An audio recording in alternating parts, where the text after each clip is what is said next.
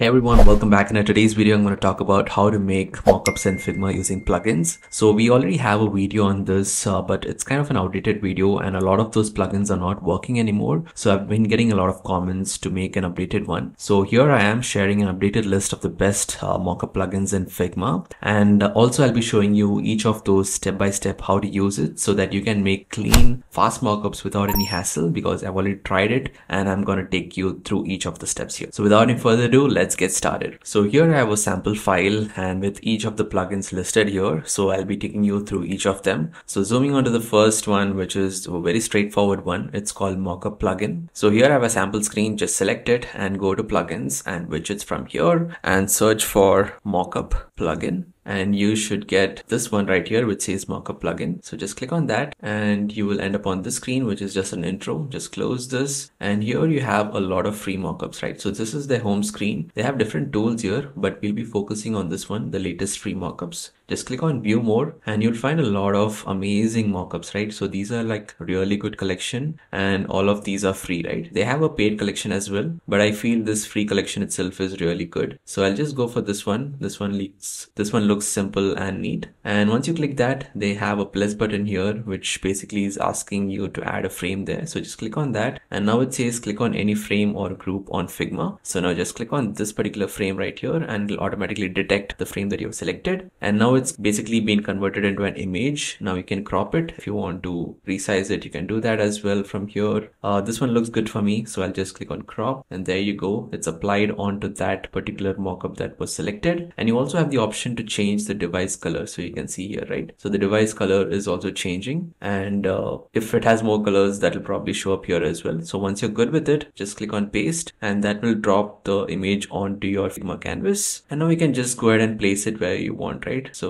just place it where you want and that's it. You have your mockup ready. So that was a mockup plugin. They have a lot of other features. And the next plugin we have is called as Angle Mockups. And this one comes in handy when you already have a mockup design uh, that you probably got from a free resource online. Or you can also get a lot of these on the community as well. So just go to Figma community and search for mockups or mobile mockups. You'll find a ton of these free resources there. So I'll be showing you that later. But right now I already have some samples here. So what you got to do is first thing before you select this plugin is select the shape that you want to apply, right? So here I have this resource and you just need to find something called a screen and the layer that you want to apply this image on, right? So here I've already got it selected. Now just go to plugins and widgets and search for angle mockup and here we have it. So I just click on it and now you automatically see all the different frames that you have on your system. So these are the different frames i have uh, on this particular canvas. You can just select the one that you want to apply. So i'm just going to click on this. And here you have different orientations. Nothing to worry. It's the preview is proper right? So just click on apply. And there you go. It just gets applied. And now you can just take this and place it where you want right? So i can just go here and copy this and place it inside this. So that's how you can do it right? So that is angle mockups when you already have a particular mockup that is there and you want to apply it right? That that is angle mockups. And also one more thing to note here is you have a particular image which is just an image right? You can always use the pen tool and try to trace out this particular uh, frame right? So once you trace this out you have a particular vector shape that you can basically go ahead and apply the image on. So it comes handy in that way as well. So that is another way to use angle mockups. Moving on to the next one this is also a really good one which is 3d iphone and device mockups. So let's go ahead and search search for this one right? So okay i already have it here. I'm not going to type it. So once i click on this you have this plugin loaded up. So the best part about this plugin is it gives you a video as well right? So they have a lot of these free amazing templates. So you can just hover on it and it'll show you the animation that it involves. So this is a very neat one. I like it. So i'll just click on this one. So the animation basically loads up and you can see a preview of the animation as well right? So right now this is the animation that is happening. You can probably if you want you can also increase increase the length of this and the duration will also increase along with that right? So once you have uh, the animation set all you got to do is just click on a frame that you want to apply on. So this is the frame that I want to apply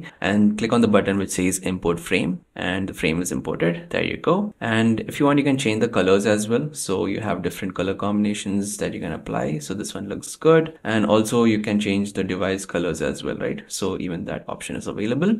So you can just preview it and see how it looks. You can see the glare on the image as well. So that's really good. So once you're done with it, uh, you can just go ahead and download it as a video. So you have an option to download this as a video. In case you don't want a video, you just want a particular frame from this, you can do that as well. So this particular frame is something that you want. Just click on this image button and you can download it as an image as well. So just it goes to your uh, downloads or you can send it to Figma. It comes onto Figma right here. So there you go, the frame that you wanted. So that's another way to use uh, this plugin. It's good for videos and it's also good for uh, creating still uh, mockups as well with uh, device colors that are available and stuff like that. So moving on to the next one, this is called as Up Mockup and this is also a really good plugin. So just search for this in plugins and widgets. So I already have it here. So this is the plugin and it's quite similar to the first plugin that we saw. It has got all these different features where you can uh, squeeze, wrap uh, different images. Uh, but here we are for the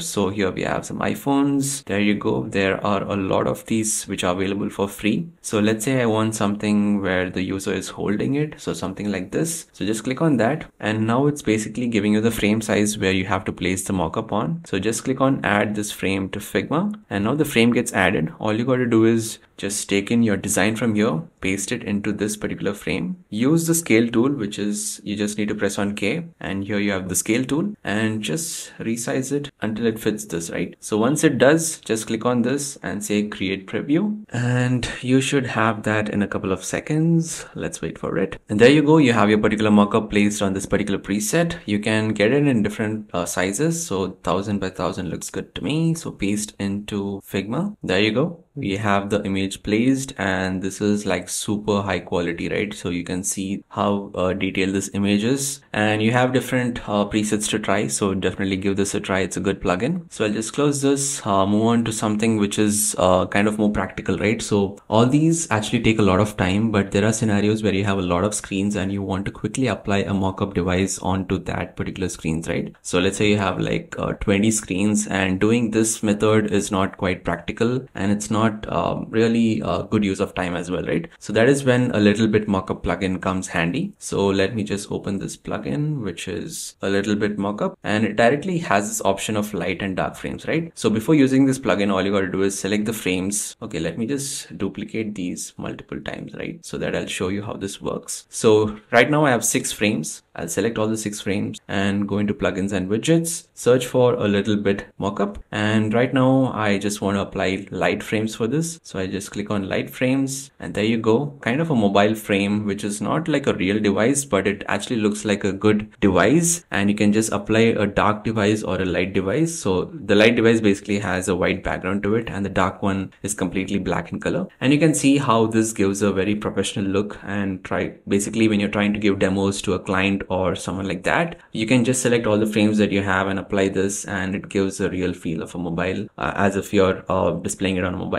so this comes really handy when you have a lot of frames. So definitely note this up which is a little bit mockup. With that i think we come to the end of this video where i've shown you all the different great plugins in figma which you can use. And also there are other plugins which are available online which are completely free. So if you want that to check that out as well. And let me know in the comments below which plugin you like or something that I've missed in this video, I'll definitely try to make a video on that in the next upcoming one. And as always, thanks for watching and I'll catch you in the next one.